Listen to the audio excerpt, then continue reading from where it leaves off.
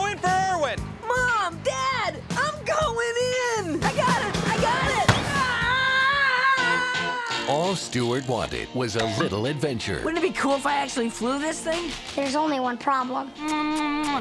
Mom. We have to give him room to grow. I let him drive his car to school. No other mother does that. But you never know when adventure is going to drop in. Whoa!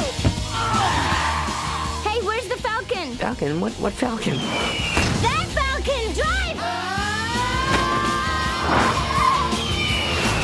Meet Margalo. She's gonna be staying with us for a while. You can use my cat's bed. You have a cat? Don't worry about Snowbell. He wouldn't hurt a fly. Whoa, those flies really come back on you. Now, Hi there! Ah! Didn't mean to scare ya. Scare me? That's a laugh. Hear that? That was a laugh. Stuart finally has someone Isn't it nice that Stuart has a friend? with whom he can see eye to eye. Everybody around here thinks I'm too small to accomplish anything. Hey, the way I see it, you're as big as you feel. Yeah.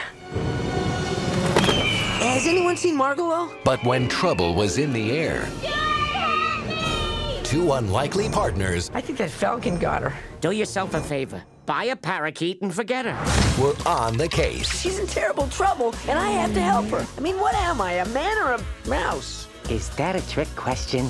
This season, What do you know about a bird called falcon? He'd eat you so fast you'd be Falcon poop before you could yell for help. I'm gonna be falcon poop. take a little chance. Watch out! Please don't hurt me.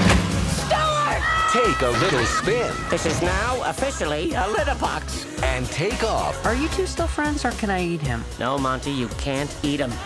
Please. on the biggest little adventure of them all. Stuart! Stuart! Stuart! This has fiasco written all over it. Stuart Little 2. Margalo, where are you? In the can. Oh, okay, I'll wait.